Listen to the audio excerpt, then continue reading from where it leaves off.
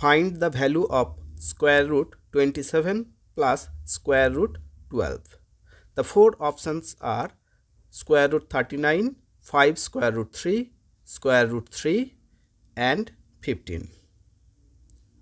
The left hand side is equal to square root of 9 into 3 plus square root of 4 into 3 is equal to 3 square root 3 plus 2 square root 3 is equal to 5 square root 3.